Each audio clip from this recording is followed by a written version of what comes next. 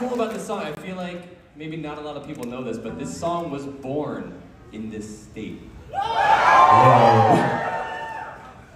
We recorded this song in Northampton, Massachusetts.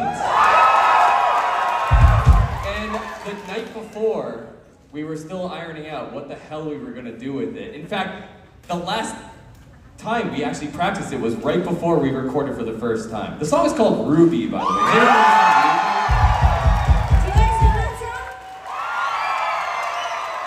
Obscure. you. And uh, we figured it out eventually, it kind of sounded like this.